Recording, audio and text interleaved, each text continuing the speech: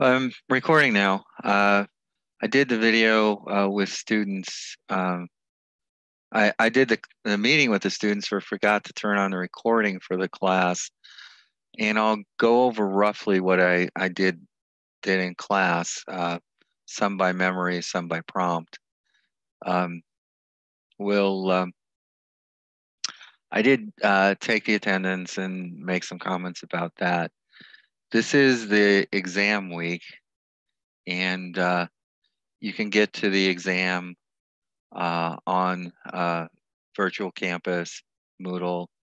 You have a week to do it. Uh, it's a it's probably a pretty generous thing. Um, it's uh, similar to an exam I would do uh, actually in class um, live with students um, where you get just three hours and and modest resources. And this time you've got the spreadsheets in a week um, and uh, we'll um, we'll let you look at that.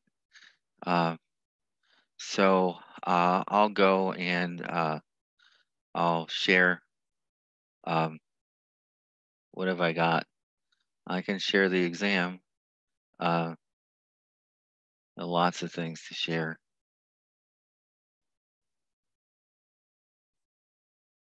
Um,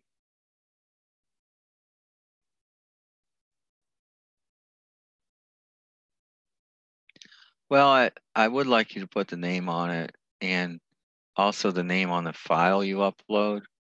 Uh, um, when you when when you do that, uh, I'll I'll have less tendency to do that. You can either type it or write it. Um, certainly, either one's appropriate um, uh, for that uh, measure. Uh, you can um,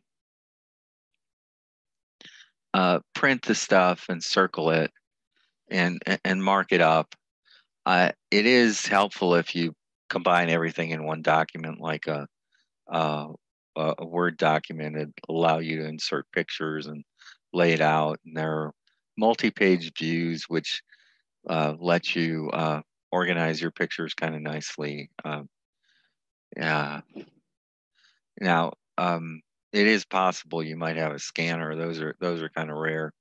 More often, you might have a a, a phone uh, if you have a phone, you can take pictures of your handwritten stuff. And uh, if you can get them to your computer, you can assemble them in like a Word document if you have Word. Um, you um, need to, uh, and the way I do it, and it works kind of nicely, is if you have a Android and Google Chrome, which is free if you if you use it. Uh, you can just put the stuff. You could um, you know in, install Google Drive on your phone and share your pictures via Google Drive. Then all your pictures are now in the cloud. Uh, in your Google Drive account and you have a Google Drive account, you have a Google account because you have email at OLC. Um, and then uh, you could go into Google Chrome uh, and there's uh, like a tools area to the right or apps. Uh, and in there is Drive, and you can click on that and it'll pull up your Drive stuff. And then you'll now have your files uh, on your computer. Uh, well, they're they're still um, they're still in the cloud, uh, but you could you could then go and and download uh, download your your stuff. The other thing is when you submit your file, I'd, I'd like you to uh, put you know at least part of your name in the text of the file. I, I I do download the files and work out them as a group, and it's easier for me to to keep my records if I do it do it that way. Um, now it's it's due uh, next Monday at one. And let's see. Uh, I have a cursor. Uh, you can get a pointer if you go into draw. Um, uh, and you can consult others on preparing your uh, on the exam and uh, I, will be able to help only in a limited manner. I, will go through this as I did in class give some hints at approaching these problems. Uh, this is actually dealing with the definition of population. You can go to the index and in your uh, book and uh, look where population is and find that out in chapter one. Um, uh, you probably can start looking uh, up some of these terms here that are the answers.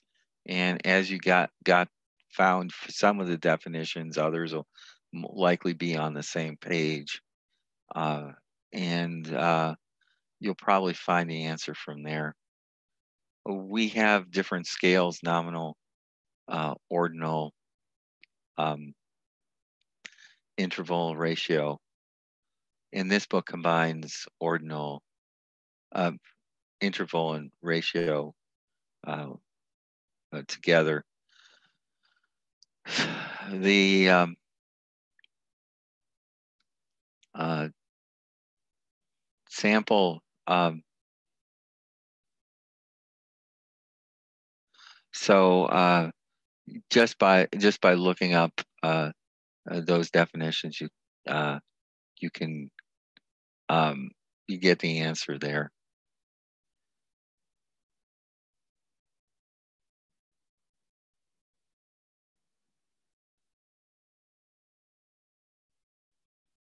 Um, ordinal scales. Oh, I have both a PDF format and a Word format of uh, of this, this assignment, so um, you can you can work on both if as somebody didn't have Word on their computer. Um, uh, I I guess you you uh, probably open it in Google Docs and you'll get something. I don't know if it, the layout will be close enough for it to be uh, workable uh, or not. Um, but the PDF format, um, you can probably uh, read an Acrobat Reader. Uh, well, in chapter one, you'll see uh, towards the end some of this notation. And we did some work with these notation. And it is important that you can recognize the difference um, between those, which I guess eliminates one of the things. Uh, and then the next question is you do one of the calculations here. And this one is modest enough, you, you might be able to do it just with a pure hand calculation to, um, uh, yeah, if you're used to doing that. With a hand calculator, it wouldn't be so bad either. With uh, a spreadsheet, it, would be even easier.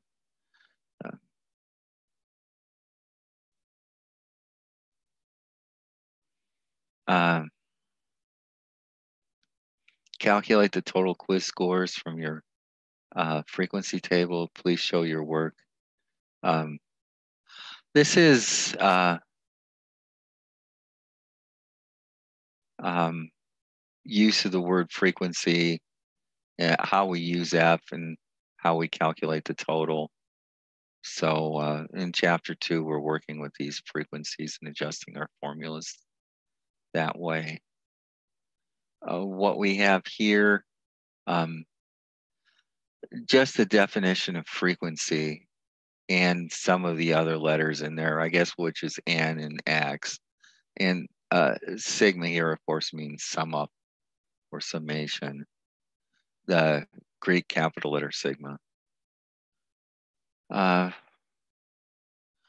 uh, just a matter of uh, probably the way to approach this is guess and then check the definition to see if you've got it right.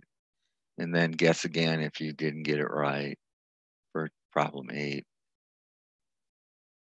Uh, problem nine, um, you can use um, positively skewed or negatively skewed, uh, uniform or normal. And um, uh, again, looking up the, these definitions of skewed, uniform, and normal will get you the answer here. Uh, 1 f over n. Uh, this formula might not be in the textbook, but um, looking up these definitions, uh, if you can find them, you might get an answer that give you a good guess. Um, this is uh, a more complicated uh, problem. Um, uh, just some comments. The mode you can get just by observation. The median, uh, you're going to have to calculate another, at least one other column, uh, maybe two. And uh, the mean, you will have to um, do some another column and some some addition, uh, addition and division.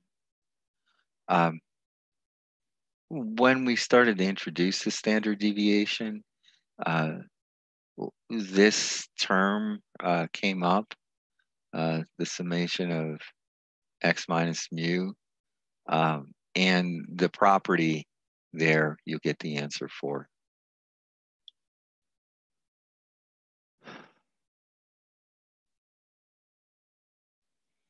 Uh, this table, um, remember, uh, you've got a bunch of things you have to answer. You just don't have to fill out the table. You have to get these these things all calculated here.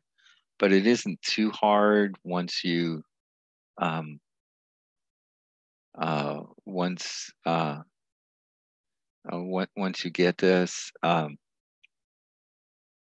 uh, values here. The hard part is doing that, completing the table. Um, best way to do this is probably to get a uh, spreadsheet.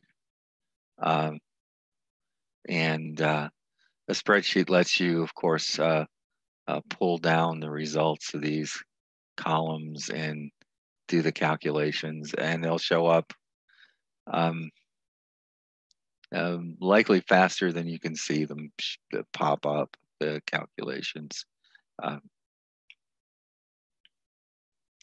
yeah. Um,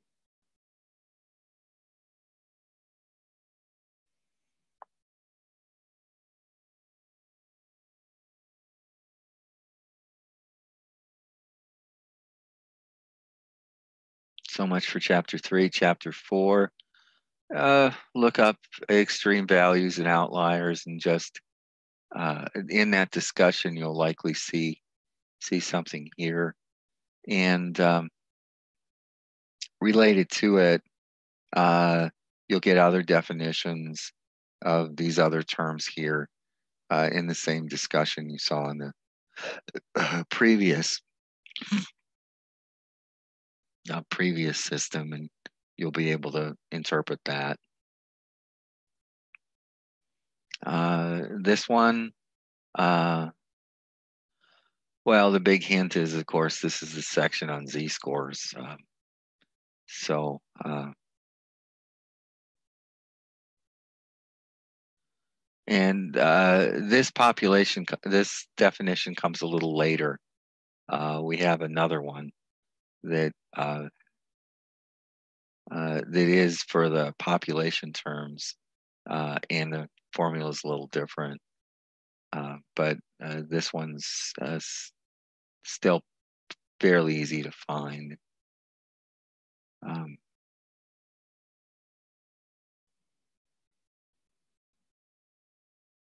hmm. Oh, this should be 18, right? Why is it 12? A long story. Uh, uh, and uh, this is just the definition of a z-score. We did calculations of those before. And uh, uh, this one, uh, Um, using your empirical rule, that's that picture of the the normal distribution and the percentages on it. You sh- you should be able to get get that one uh, pretty easily. Some of you might be able to do it by memory.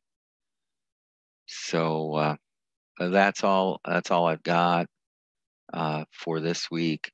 Uh, it was a short week, uh, and uh, I'm I guess I can uh, stop the share and, and stop the recording now.